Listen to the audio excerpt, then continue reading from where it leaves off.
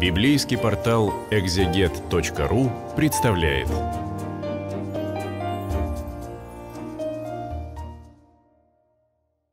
Библейский портал экзегет.ру представляет цикл бесед о соборном послании святого апостола Иакова. Сегодня мы читаем третью главу.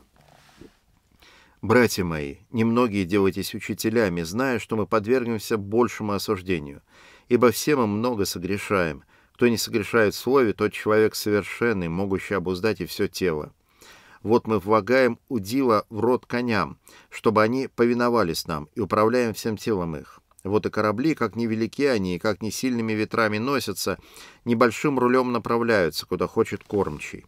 Так и язык, небольшой член, но много делает. Посмотри, небольшой огонь, как много вещества зажигает. И язык — огонь, прекрасно неправды. Язык в таком положении находится между членами нашими, что оскверняет все тело и воспаляет круг жизни, будучи сам воспаляем от гиены ибо всякое естество зверей и птиц, и пресмыкающихся, и морских животных укращается и укращено естеством человеческим, а язык укротить никто из людей не может. Это неудержимое зло. Он исполнен смертоносного яда. Им благословляем Бога и Отца, им проклинаем человеков, сотворенных по подобию Божию. Из тех же уст исходит благословение и проклятие. Не должно, братья, сему так быть. Течет ли из одного отверстия источника сладкая и горькая вода? Не может, братья мои, смоковница приносить маслины или виноградная лоза смоквы. Также один источник не может изливать соленую и сладкую воду. Апостол предостерегает от желания, от страсти к учительству, когда хочется э, наставлять, и за этим может стоять гордыня, превозношение, желание всех поставить на место и над всеми превознестись. И он говорит о том, что говорить людям, что-то произносить, это большая очень ответственность.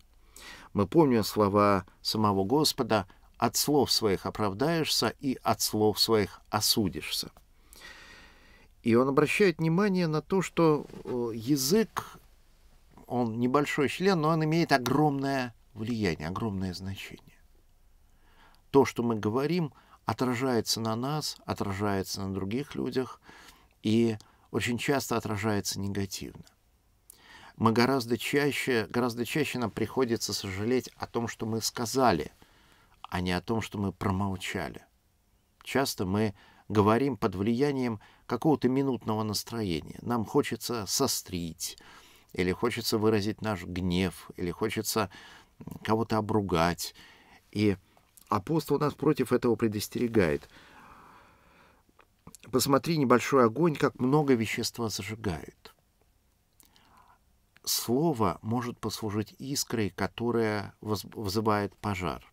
И так бывает в истории, и бывало много раз, что какие-то слухи, какие-то разговоры, какие-то э, речи, полные ненависти или страха, или паники, они приводили к совершенно реальному кровопролитию. Вообще, любая общественная смута, любое общественное зло, оно начинается с языка, оно начинается с разговоров. Иногда люди говорят, ну а что разговоры?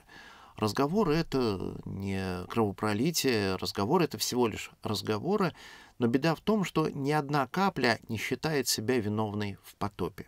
Есть очень хорошее выражение, что ни одна капля не считает себя виновной в потопе. Человек думает, что его злые речи, его гнев, его раздражение, то, что он пересказывает какие-то непроверенные обвинения, какие-то непроверенные слухи, это ни на что не влияет. Но он же не является там правителем, он же не, приним, э, не отдает приказов, он же не принимает каких-то решений, от которых зависит жизнь и благополучие других людей. На самом деле принимает. Жизнь и благополучие других людей зависит от того, что мы говорим то, что мы говорим худого, это а, увеличивает общую массу зла в мире, это увеличивает ту критическую массу каких-нибудь злых слухов, которые в итоге вызывают смуту, которые в итоге разрушают ткань общества. Все, что мы говорим, имеет значение, и мы должны тщательно избегать греха в этом отношении.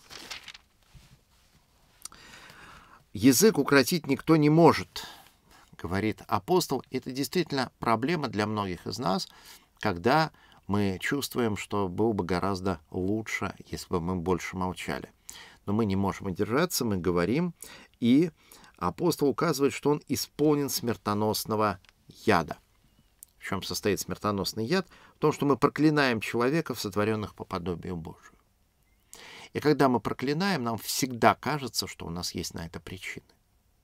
Так работает гнев, так работает злоречие. Ни один злоречивый не скажет о себе «я злоречивый». Он скажет о себе «я справедливо порицаю и критикую каких-то плохих людей, которые действительно этого заслуживают, я таким образом противостою злу, я вообще молодец». Но на самом деле это именно злоречие. И мы не должны проклинать вообще никого, потому что а, говорит апостол, проклинаем человека в сотворенных по подобию Божию, вот это плохо. Любой человек сотворен по подобию Божию, даже плохой человек, человек, который нам не нравится, а, может, человек действительно какой-то плохой преступник, злодей, мы не должны проклинать кого бы то ни было. Мы привыкли к тому, что да, вот гневаться, проклинать, ругаться — это чуть ли не критерий нравственности. Вот людям часто кажется, что быть хорошим человеком значит ненавидеть плохих людей. Священное Писание совершенно не поддерживает такой точки зрения. Нет, никого проклинать нельзя. Можно обличать в том плане, что можно э, называть плохие вещи плохими, увещевать людей отстать от греха. Но нельзя никого проклинать. Из тех же уст исходит благословение и проклятие. Не должно, братья, сему так быть. И это даже не вопрос, насколько хорошие люди, о которых мы говорим. Это вопрос того, что мы должны хранить наши уста. Мы не должны одними теми же устами благословлять и проклинать. Течет ли из одного отверстия источника сладкая и горькая вода? Ну, понятно, что если мы имеем источник, э, и из этого источника течет э, сладкая и соленая вода, и они смешаются, то вся смесь будет непригодна. Все испортится. Также, когда мы говорим и мы примешиваем к нашим благословениям проклятия, то э, вся наша речь становится ядовитой, вся наша речь становится отравленной.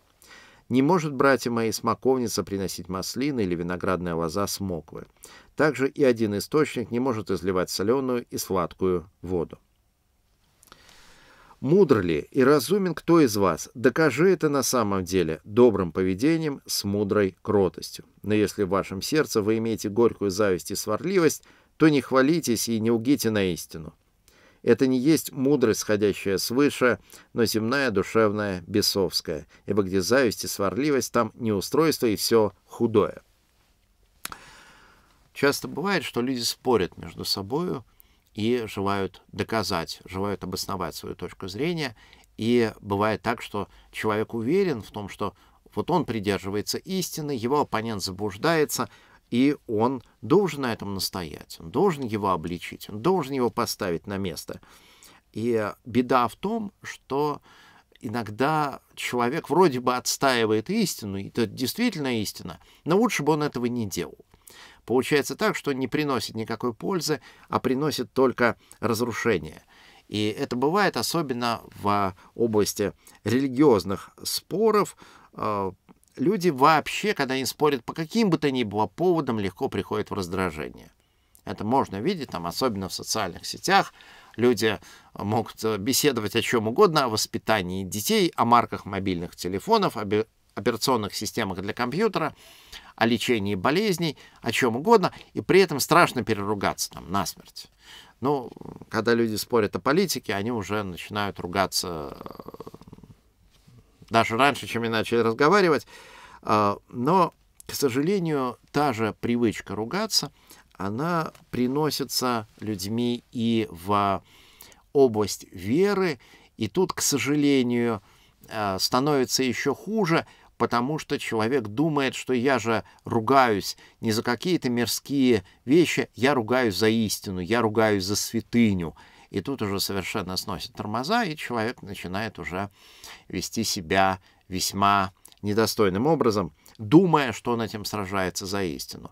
И вот апостол говорит, что Если ты действительно мудрый, если ты действительно а, разумный, докажи это добрым поведением с мудрой кротостью.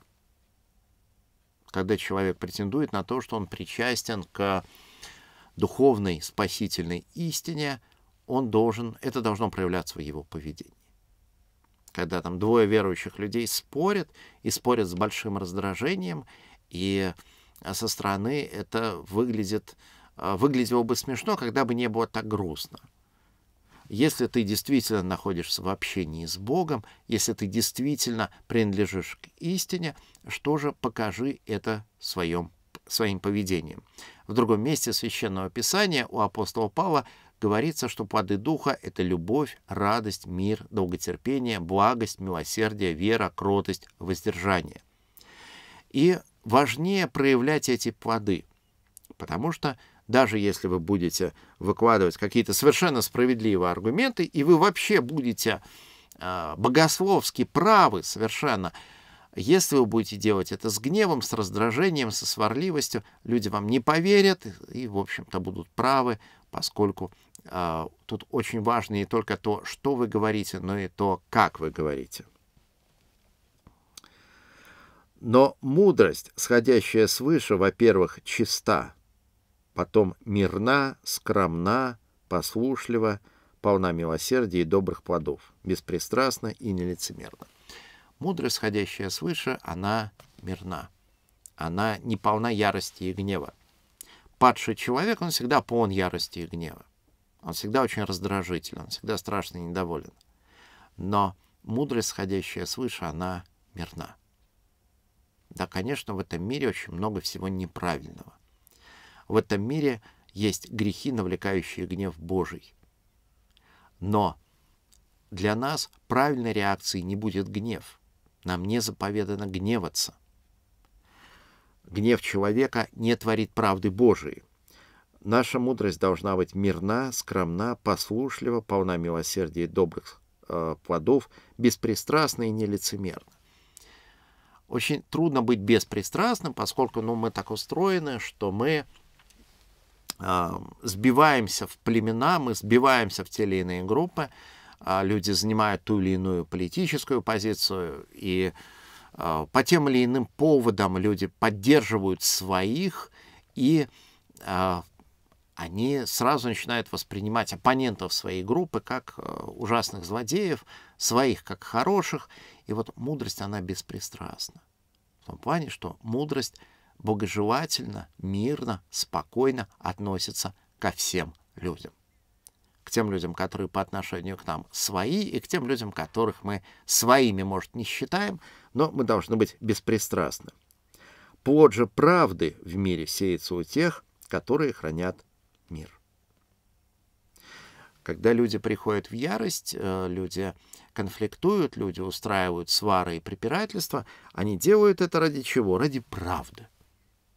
Я еще не видел, вот э, никогда в жизни не видел человека, который бы устраивал конфликты из-за лжи. Нет, конечно, он себе так никогда не скажет, он всегда будет подвязаться за правду. А почему ты со всеми переругался, почему ты со всеми перессорился ради правды. Почему ты в такой ярости ради правды. И апостол говорит, нет, на самом деле э, неправда это. Плод же правды в мире сеется у тех, которые хранят мир. Именно если ты хранишь мир, именно если ты удаляешься от ярости, гнева и сварливости, вот там и будет явлен под правды. Совсем не там, где ты приходишь в ярость и гнев. Мы с вами прочитали третью главу э, соборного послания святого апостола Иакова. Мы читаем Писание в рамках библейского портала «Экзегет.ру».